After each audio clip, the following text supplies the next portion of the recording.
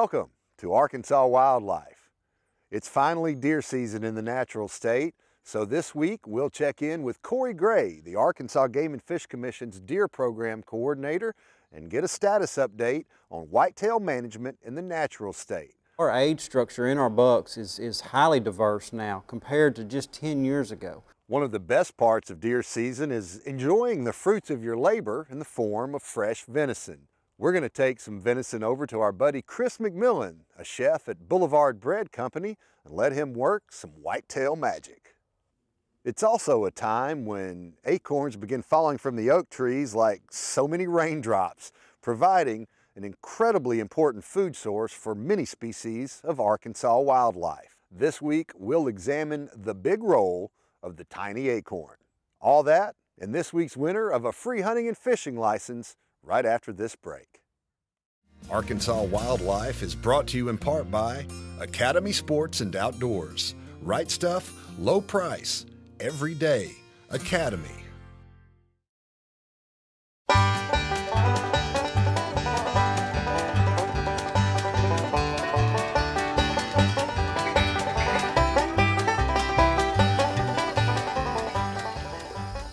Quick question. How do you pronounce this word? A C O R N. It's acorn. That's an acorn. Acorn. That's acorn in Arkansas. I'm from Illinois. That's an acorn. How do you pronounce this word? Acorn. Acorn. Acorn. Acorn. Acorn. You have to be from St. Louis North to call it an acorn. It's an acorn in Arkansas, southeast Arkansas, Pine Bluff. I have a lot of them in my front yard. No matter how you pronounce it, this little nut plays a big role in feeding many species of Arkansas wildlife. When the leaves turn each autumn, acorns fall like raindrops, feeding Arkansas critters large and small. Acorns probably explain about 95% of the variance of the squirrel population. They're highly dependent on acorns.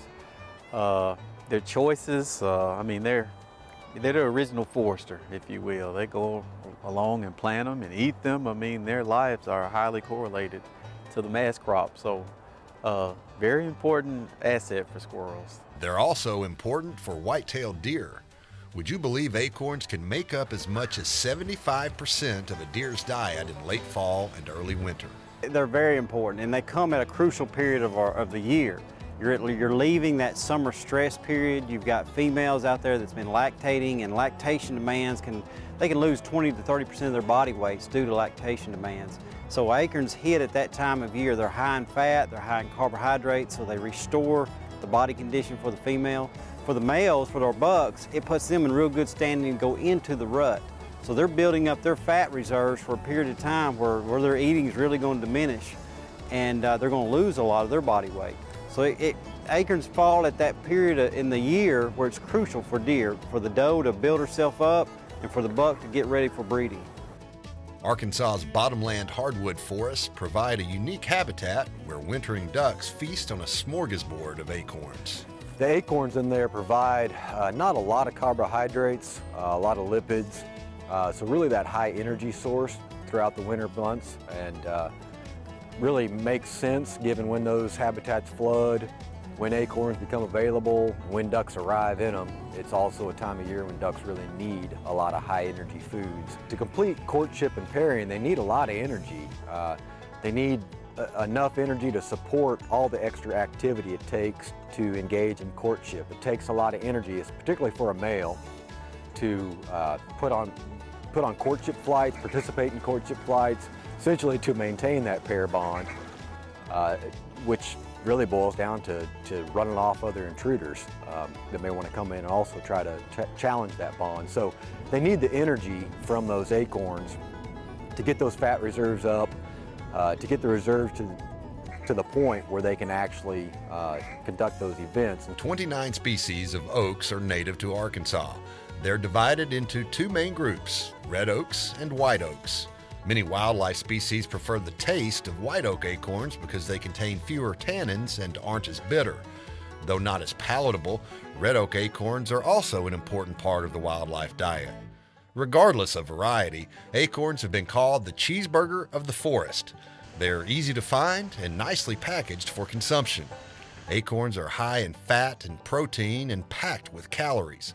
And as many hunters know, finding acorns often means finding wildlife. Well, there's a high correlation with the number of squirrels and, and the mass crop.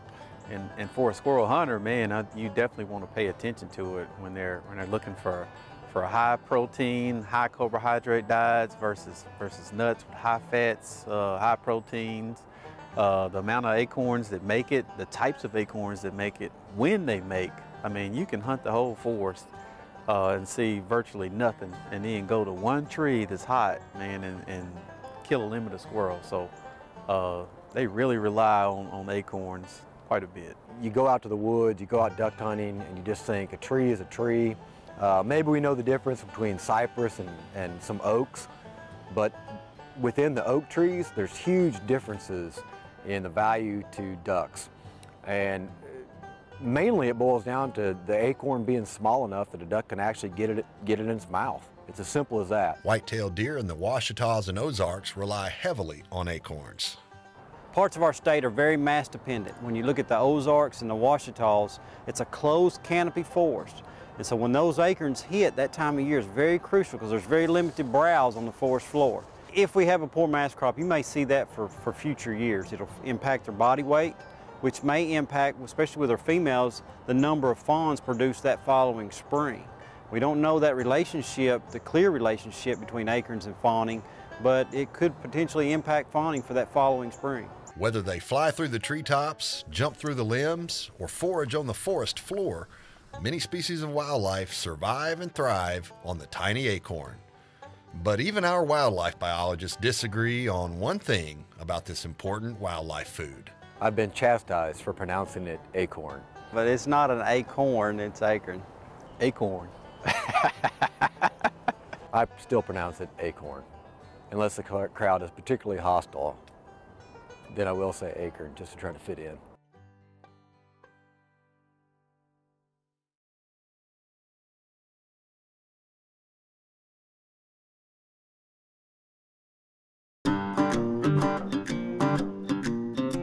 Much attention has been given to the detection of chronic wasting disease in Arkansas's white-tailed deer.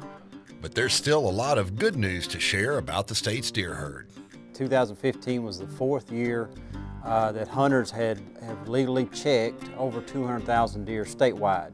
Also in 2015, we actually were able to harvest more females than males, more does and bucks.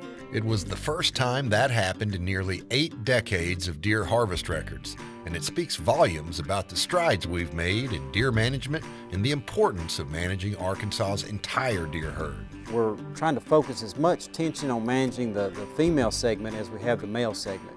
We will look at the age structure of our females. We want to make sure that we can uh, continue to keep a highly productive female herd to ensure that we've got fawns coming every year, annually. The natural state is producing bigger and better bucks than ever. Last year, Arkansas produced a new state record typical whitetail. Jacob Acock of Tillar shot a massive five and a half year old buck that scored 195 inches. Not only the largest typical rack in Arkansas history, but the third largest typical buck in the South and the largest southern typical from outside of Texas. It's age, genetics, and nutrition. And genetics is the foundation, then you have uh, the nutrition that plays a part in that.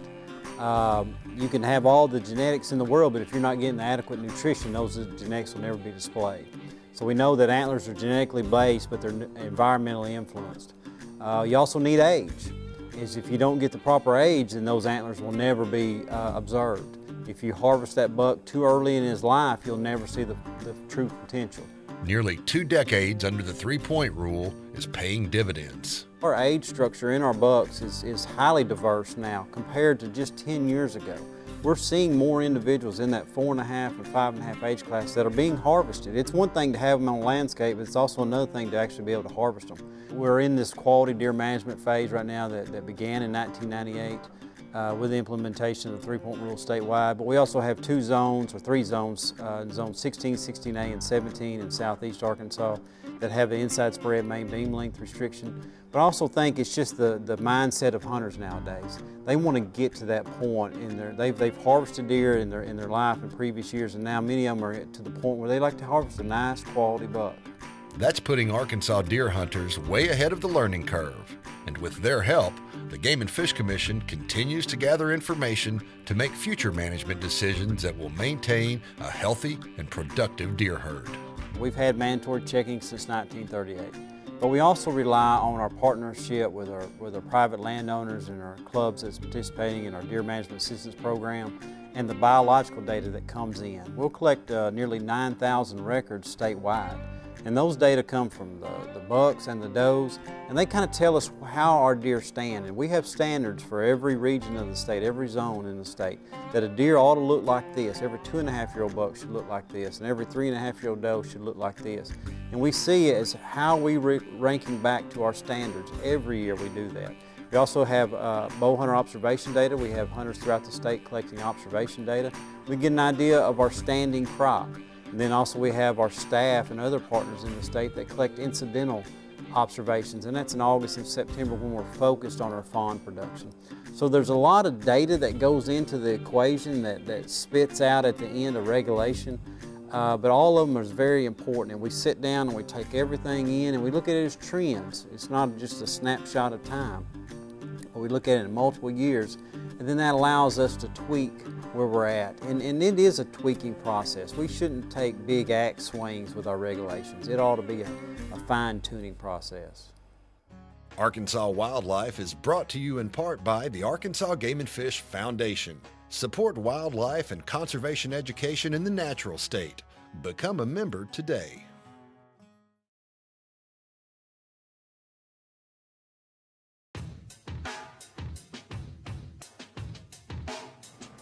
Hey guys, welcome.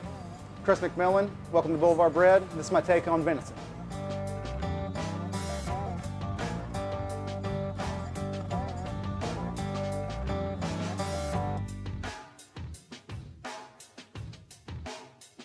First, we're going to start with the sauce. For this sauce specifically, we're going to need to start with a roux. I'm sure everybody here is familiar with a roux. If not, a roux is half fat, butter, oil, lard, etc and flour.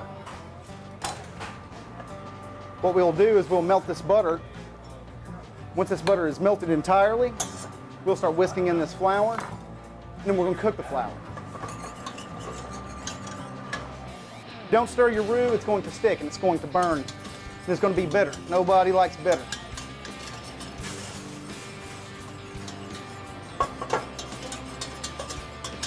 All right, guys, the base of our roux is starting to come together we have the consistency of wet sand. Now I know I have a good equal proportion of flour and butter. Now I'm going to continue to stir this roux, and as soon as it reaches the right color and the right temperature, I'm to pull it off. All right, guys, this is about peanut butter. This here, reason why it's called peanut butter roux is because it looks like peanut butter. Now with the chicken stock. I want to stir consistently. If I don't, you're going to end up with lumps and no one likes a lumpy gravy. You know how thick your sauce is going to be when it comes to a boil. Once it comes to a boil, you see how thick that is, that's how as thick as it's ever going to get unless you reduce it. First of all, most of my cooking is very simple. I feel like if you start doing too much to it, you're going to mess it up. So salt, pepper, and olive oil is the basis for most of my vegetables and almost all of my proteins.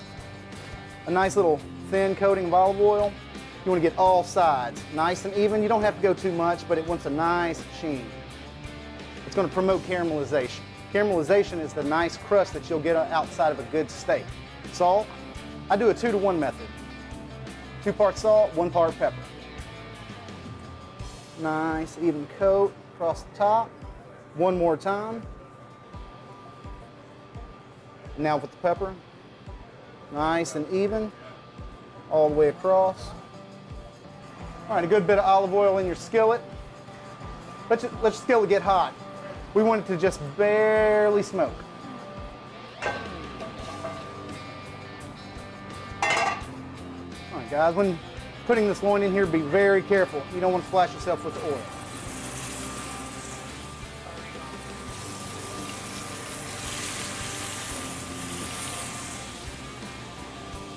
And you can't go wrong with a good pair of tongs. You'll save your fingers.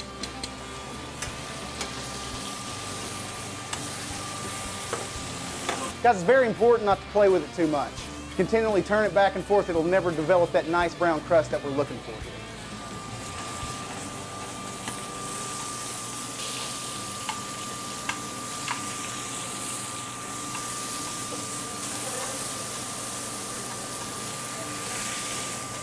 Oh yeah, here we go. We're gonna let this other side develop, then we're gonna finish it in the oven.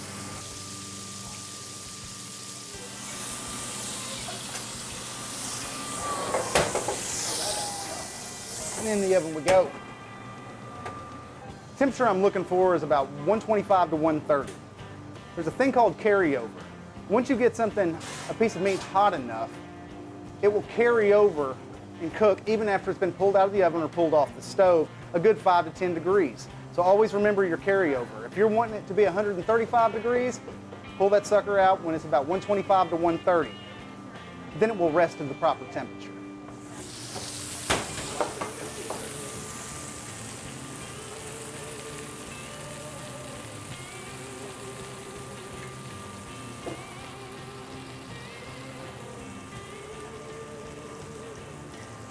We got a winner. Guys, it's very important to rest the meat.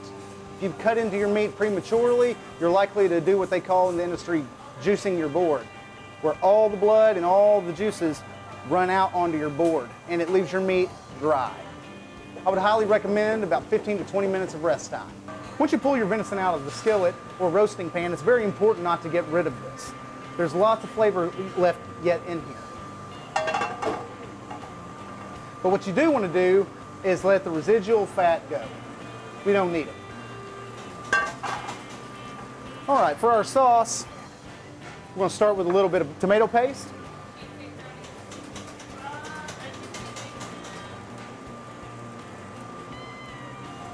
A little bit of honey.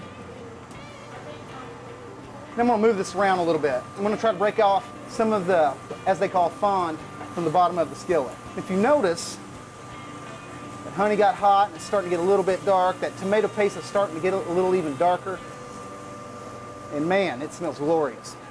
Now, onto our bourbon. Fire in the hole.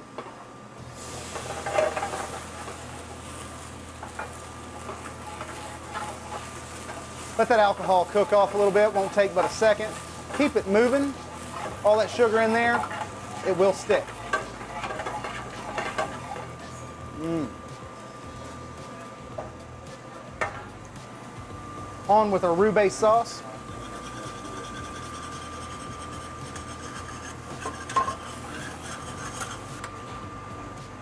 All right, we're starting to simmer. And if you notice, it doesn't take long. It's already starting to thicken up. All right, finish with a little more salt and pepper. And I believe we're there. All right, let's see how we did. Oh, it's nice and pink.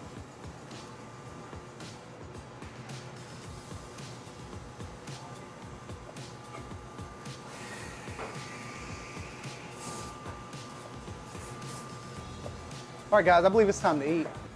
What we have here is the little autumn roasted vegetables.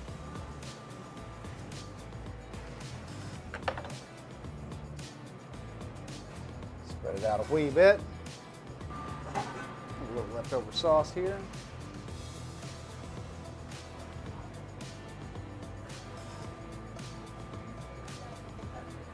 And we like pretty food. Garnishing here with a little microgreen. Folks, delicious.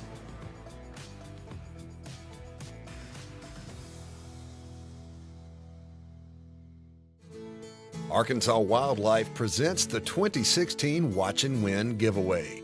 During each first run episode of Arkansas Wildlife, we'll give away an Arkansas resident hunting and fishing license, a $35.50 value provided by Academy Sports and Outdoors. At the end of the year, we'll award the 2016 Grand Prize, a lifetime hunting and fishing license provided by Electric Cooperatives of Arkansas, along with $1,000 worth of sporting goods gift cards provided by the Arkansas Game and Fish Foundation. Here's how it works. Visit the Game and Fish Commission's website at agfc.com and click on the Arkansas wildlife icon to enter. This week's winner is Tommy Hutchison of Cabot. Congratulations and thanks for watching.